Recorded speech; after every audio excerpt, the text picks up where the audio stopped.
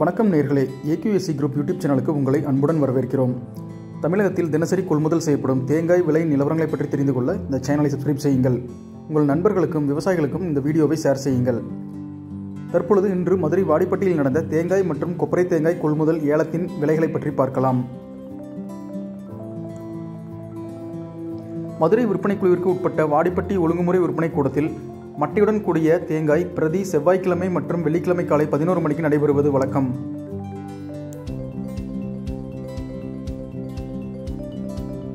இன்று இருபத்தி நாலு எட்டு ரெண்டாயிரத்தி இருபத்தி ஒன்று செவ்வாய்க்கிழமை காலை நடந்த ஏலத்திற்கு பதினாறு விவசாயிகள் அறுபத்தி ஆறாயிரத்தி முன்னூற்றி பதினைந்து தேங்காய்களை கொண்டு வந்திருந்தனர். அவை இருபத்தி ஏழு குவியலாக பிரிக்கப்பட்டு மதுரை விற்பனை குழுவின் கண்காணிப்பாளர் திரு திருமுருகன் அவர்களின் தலைமையில் ஏலம் நடைபெற்றது.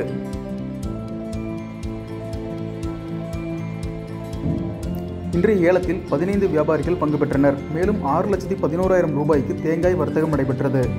இனி இன்றைய தேங்காய் ஏல விலைகளை பற்றி பார்க்கலாம்.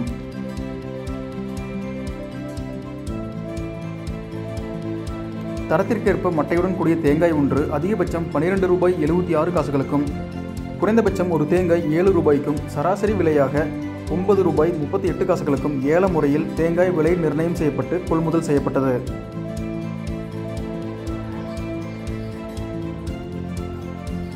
இதனைத் தொடர்ந்து நடந்த கொப்பரை தேங்காய் ஏலத்தில் இருநூத்தி நாலு கிலோ கொப்பரை ஏலமிடப்பட்டது. தரத்திற்கேற்ப ஒரு கிலோ கொப்பரை தொண்ணூற்றி எட்டு ரூபாய் இருபத்தி ஐந்து காசுகள் வீதம் ஏல முறையில் விலை நிர்ணயம் செய்யப்பட்டு கொள்முதல் செய்யப்பட்டது.